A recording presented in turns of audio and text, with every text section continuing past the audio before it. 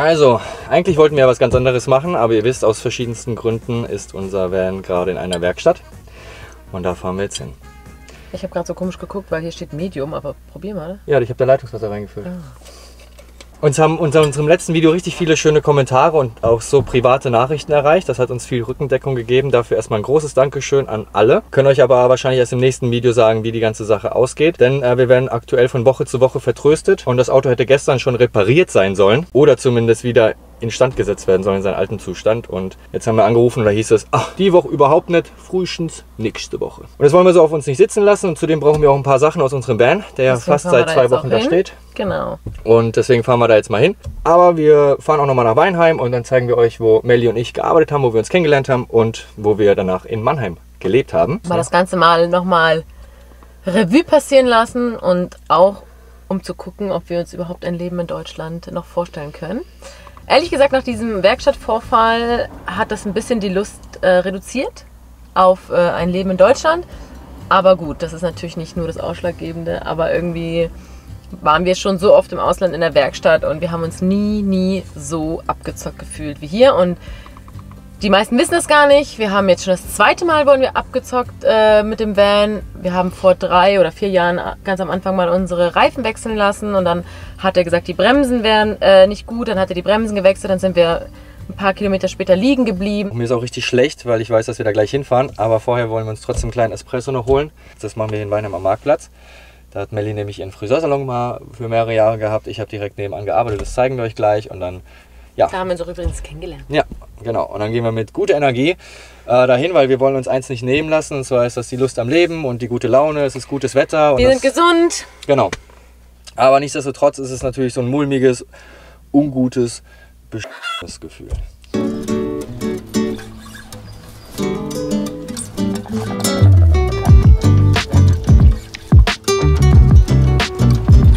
Ja, also der Marktplatz in Weinheim ist eine richtig schöne Ecke, falls ihr das noch nicht kennt. Ja, schaut euch das Oh, unbedingt mal Hof an. ist sogar auf. Den Hof. Oh, und hier sind wir auch schon bei Mellies alten Friseursalon. Guckt euch das mal an, das ist richtig schön.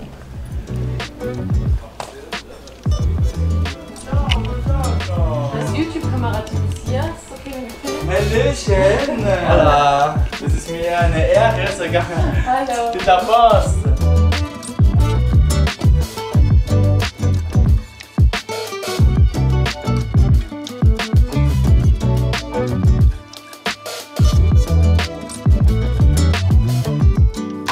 Ja, es war richtig schön bei Fabio. Und ähm, schaut mal, da hinten habe ich gearbeitet. Da vorne. Direkt im Café Florian. Und Melli hat dann hier vorne immer gesessen. Ja, in der Mittagspause und hat sich dann immer gedacht, was ist denn das für ein Typ da drüben? Ja, stimmt. Und irgendwann kam Melli zum Mittagessen mal rüber. Dann habe ich ihr die Karten gebracht und seitdem haben wir, haben wir Kontakt gehabt. Ne? Dann war ich zwei, Zwei Jahre hat es gedauert. Zwei Jahre war ich hier zum Haare schneiden, war damals auch noch in einer anderen Beziehung. Und dann, ähm, wie sich dann das Fenster geöffnet hat, sind wir beide durchgesprungen. Ne? Ja. Ab ins Glück hinein.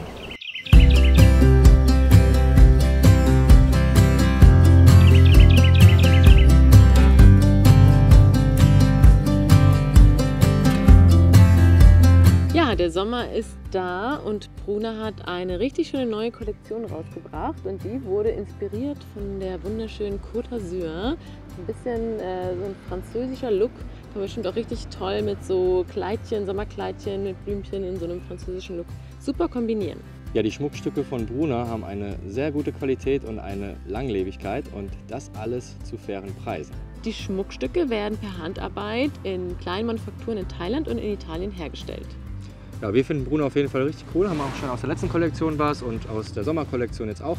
Und falls ihr ja, dafür euch interessiert, dann schaut doch gerne mal in der Videobeschreibung nach, da findet ihr einen Link zu Bruna und alle weiteren Infos. Jetzt machen wir uns aber mal auf den Weg zur Werkstatt.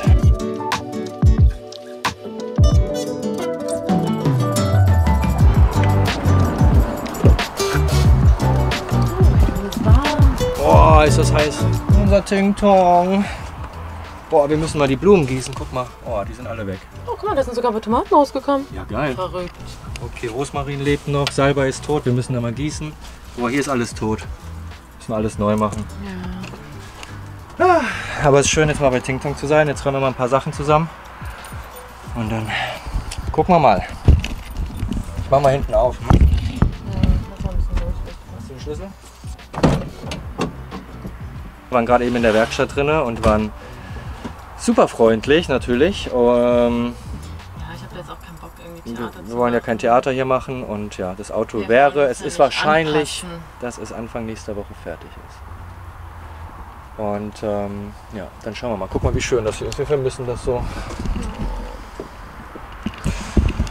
Ja, und dann äh, müssen wir mal schauen, wie wir dann weitermachen. Also, das können wir auch erst dann erzählen, wenn wir das Auto wieder haben. Also es fährt ja noch. Also es ist ja vorher auch hier gefahren. Wir sind ja von Lissabon bis, ähm, bis hierher gefahren. Äh, diesem mit diesem kleinen Manko. Also ich muss mal wirklich sagen, das Auto lief zu 90 Prozent tipptopp. Also sonst wär, hätten wir uns da niemals auf so eine lange Fahrt gemacht. Es ging ja halt einfach nur darum, dass es nicht noch schlechter wird. Okay, wir packen zusammen und dann geht's nach Mannheim. Wir müssen da meine Sonnenbrille abholen und dann zeigen wir euch da mal die zwei Cafés, in denen wir gearbeitet haben. Oder vielleicht auch nur eins, mal gucken, ob wir an beiden vorbeikommen und auch wo wir gewohnt haben. Nicht gegossen. Nee, ne? da habe ich vergessen zu gießen. Aber wir kommen gerade richtig. Oh, guck mal. Na, hoffentlich. Richtig gemacht? Wie unangenehm. Weil wir ey. sind freundlich und wenn das halt bis nächste Woche nicht fertig ist, ja. bis Mittwoch, dann müssen wir halt rechtlich vorgehen. Dann bleibt uns nichts anderes übrig. Also es wäre Anfang der kommenden Woche fertig. Wir haben von Montag oder Dienstag Aber er gesprochen. weiß es nicht. Er muss halt auf die Firma warten, die dem das zuschickt. Wobei ich nicht ob weiß, ob die sogar noch da bei dieser Fremdfirma liegt oder ob das schon hier ist. Aber das können wir leider nicht nachprüfen, weil wir haben das schon angerufen und die dürfen uns keine Auskunft geben, weil wir nicht die Auftraggeber sind. Anrufen und nachfragen. Ich meine, wie viele Hat, Einspritzpunkte hätte er da schon gemacht. Er hätte schon nachgefragt. Ja. Da müssen wir halt überlegen, was wir machen werden, ob wir das Auto abschleppen lassen. Ja. Whatever. Das, darum geht es dann im nächsten Video. Ne? Jetzt fahren wir erstmal los.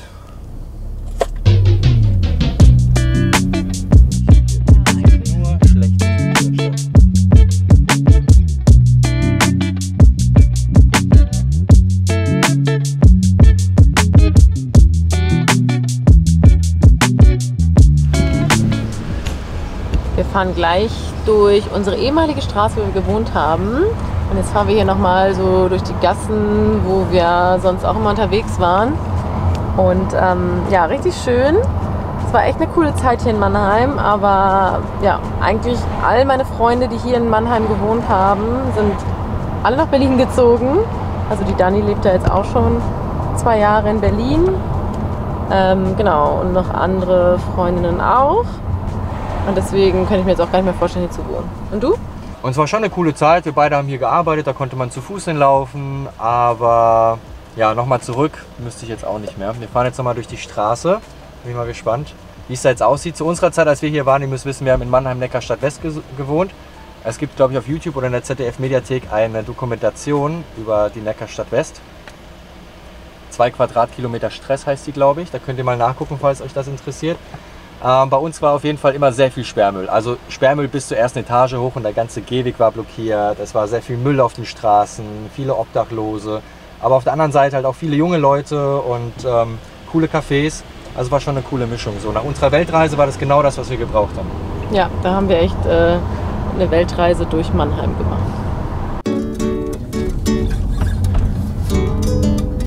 Oh, da vorne ist Baba. Baba, Da haben jawohl. wir uns immer abends, wenn wir keinen Bock hatten zu kochen, immer unsere falafel auch. geholt.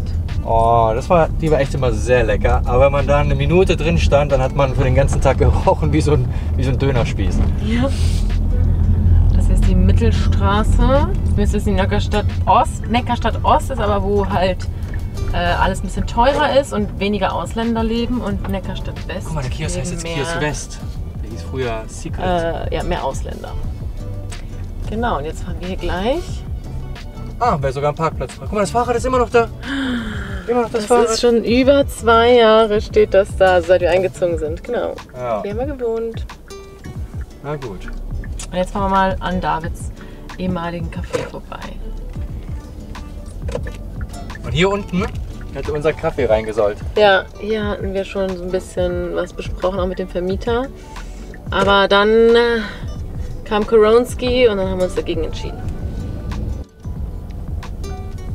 Ja, hier in diesem blauen Haus hat David gearbeitet.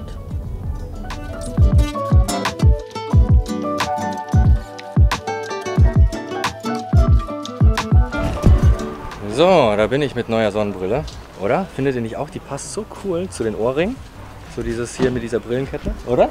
Sieht richtig stylisch aus. Und ähm, ja, ich hatte zwar auch noch eine, aber die war schon ein bisschen älter und bei mir hat sich ein bisschen die Sehstärke verändert. Und ja, vielleicht sehe ich ja mit der neuen Sonnenbrille dann auch besser. Und dann wähle ich nicht mehr so Werkstätten aus. Ist nämlich auf meinem Mist gewachsen, dass wir da hingefahren sind.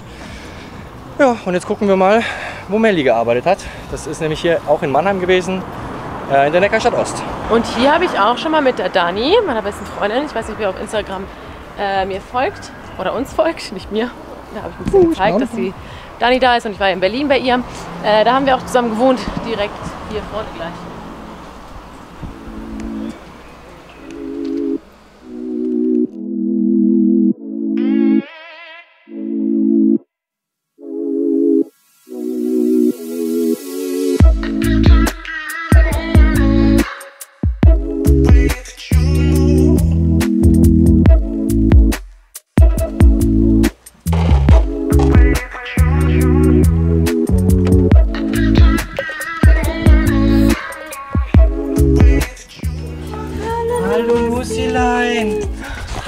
Schatz. Hallo. Hast du schon gesehen, dass wir kommen? Ja, ist Oh. gut, mein kleiner. So, angekommen. Ah, schön kühl hier drinnen und wir haben Nussi so ein Kaffeeholz gekauft und äh, ja, bis eben hat sie drin rumgekaut. Guck mal Nussi, scheint dir zu gefallen. Ja, weil sie klaut nämlich hier öfter bei meinen Eltern das Kaminholz und das ist dann äh, so weich. Und damit macht sie ziemlich viel Dreck, aber mit dem Kaffeeholz äh, scheint das gut zu funktionieren. Ja. Den mag sie. Was? Hast du Nusas, hast du Omas Socke geklaut? Hä? Du? Nein. Meine Socke? Hier ist keine Socke, Oma. Nein? Eine weiß? Nee. Okay, also wir haben jetzt noch ein bisschen gearbeitet, sind zu Hause angekommen und sind jetzt auf einen Geburtstag eingeladen von äh, die Frau von meinem besten Freund. Hatte vor zwei Tagen Geburtstag und jetzt wird gefeiert. Also, ja, sehen wir uns dann im nächsten Video. Ich äh, glaube, ich muss das Video heute Abend noch zusammenschneiden. So ist das halt als YouTuber. Manchmal kommt halt alles viel auf einmal zusammen. Ja, wir hoffen, euch hat es gefallen. Äh, schaut mal bei Bruna im Shop vorbei. Da gibt es richtig schöne Sachen, auch für Männer. Und ähm, ja, was magst du da hinten noch sagen? Tschüss, bis zum nächsten Mal. Du hast alles gesagt. Tschö.